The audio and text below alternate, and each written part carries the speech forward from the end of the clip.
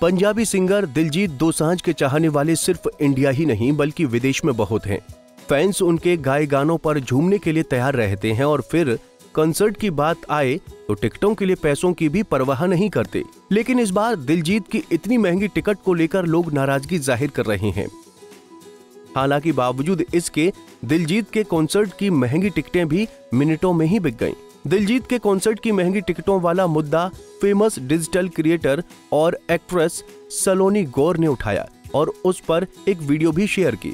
सलोनी ने तो यहाँ तक कह दिया कि भाई, दस हज़ार की टिकट से अच्छा दस हज़ार के जूते ले लो। चलिए आपको सलोनी की ही बात बताते हैं कि उन्होंने फैंस को क्या नसीहत दी। कॉन्सर्ट में न जाने की नसीहत देते हुए सलोनी गौर कहती हैं, आजकल की जनरेशन कॉन्सर्ट पर बहुत ज़्यादा खर्च कर रही है। किसी को गाते हुए देखने के लिए इतने महँगे महँगे टिकट्स खरीद रहे हैं। अगर आपको वो टिकट मिलता भी है तो आपकी सीट ऐसी जगह होगी जहाँ पर आपको वो आदमी चीटी की तरह दिखेगा। आप दस हज़ार का टिकट लोगे, इससे अच्छा आप दस हज़ार के जूते ले लो। आपको बता दें कि सिंगर दिलजीत दोसांझ भारत में जल्द ही दिल लुमिनाती टूर करने जा रही हैं। दस शहरों में होने वाले इस कॉन्सर्ट का फैंस में अलग ही क्रेज है, और ये उत्सुकता इस कॉन्सर्ट के नाम दिल लुमिनाती को लेकर भी है। लोग इसे एल्यूमिनाटी से भी जोड़ रहे हैं। दिलजीत के बारे में अक्सर ये बात कही जाती है कि वो एल्यूमिनाटी कम्युनिटी के मेंबर हैं। बहुत से लोग, ये क्या है? इसे नहीं जानते। तो चलिए आपको समझाते हैं क्या है ये कम्युनिटी। कहा जाता है कि एल्यूमिनाटी एक सीक्रेट सोसाइटी है, जिसके सदस्य अपनी हर ख्वाहिश पूरी कर सकते हैं। अक्सर बड़े सेलिब्रिटीज के बारे में ये गॉसिप चलती है कि वो एल्यूमिनाटी के सदस्य हैं। कई सेलिब्रिटीज के वीडियोस को लेकर सोशल मीडिया पर दावा किया जाता है कि वो एल्यूमिनाटी का खास साइन बनाते हैं और उससे जुड़े हुए हैं। कई यूज़र्स का तो ये भी कहना है कि रियलिटी शो बिग बॉस का लोगो जो त्रिकोण में एक आँख है, वो भी इल्यूमिनाटी का ही प्रतीक है। इल्यूमिनाटी का हिस्सा है दिलजीत दोसांझ। दिलजीत के इंटरनेट पर कई वीडियोस वायरल हैं, जिनमें वो अपने हाथों से त्रिकोण का साइन बनाते नज़र आ रहे हैं। हालाँकि सिडनी में एक कॉन्सर्ट के दौरान दिलजीत ने कहा था कि उन्होंने अपने हाथों से जो साइन किया था, वो क्राउन चक्र का निशान था। इल्यूमिनाटी का नहीं। इस बार दिलजीत ने अपने कॉन्सर्ट का नाम ही इल्यूमिनाटी से जोड़ कर लिया है। अब ये पब्लिसिटी स्टंट भी हो सकता है और दिलजीत का इशारा भी। कई लोगों का मानना है कि अमेरिकी एक्टर्स एंजेलिना जोली और पॉप स्टार से भी इसकी मेंबर कही जाती हैं। कहा जाता है कि एंजेलिना की फ़िल्म टॉम्बर रेडर की कहानी भी इल्यूमिनाटी पर आधारित थी। हॉलीवुड पॉप स्टार बोयोन्से को भी इसका मेंबर माना जाता है, क्योंकि कंसर्ट के दौरान वो और उनके पति जे जी कई बार खास निशान बनाते हैं जिसे इल्यूमिनाटी से जोड़ा जाता है।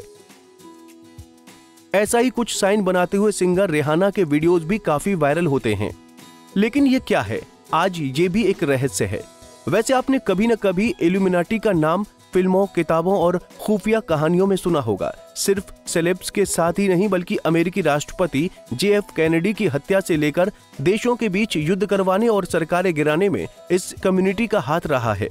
ऐसा कहा जाता है कि इस कहानी की शुरुआत साल 1748 मध्य यूरोप के राज्य बवेरिया से शुरू होती है। एक दिन एडम वाइस हफ्ट का इस गाँव में जन्म हुआ। कहा जाता है कि उनके पूर्वज यहूदी थे। बड़े होकर वो इंग्लो साइड की यूनिवर्सिटी में धार्मिक कानूनों के प्रोफेसर बन गए। अब बात ये थी कि वो जिस यूनिवर्सिटी में काम करते थे, वहाँ का प्रशासन पादरियों से चलाते थे, लेकिन वाइस हफ्ट खुद एक पादरी नहीं थे।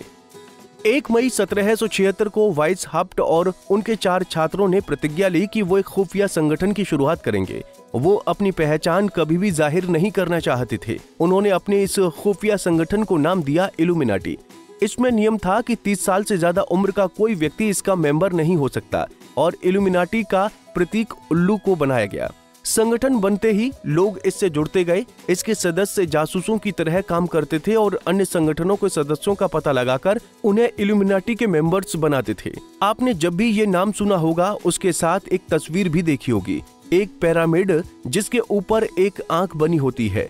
ये पैरामिड ही इल्यूमिनाटी के स्ट्रक्चर को दर्शाता है। इल्यूमिनाटी में सदस्यता के तेरह लेवल थे जो तीन भागों में बटे थे।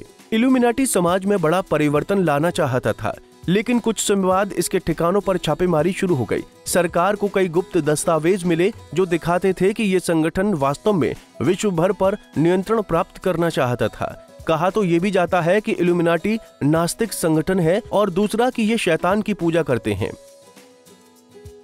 वहीं फ़ेमस होने के लिए शख्स यहाँ अपनी आत्मा बेचते हैं। संगठन के प्रमुख एडम वाइस खुद को राजा मानते थे और स्पार्टकस के नाम से पहचान रखते थे।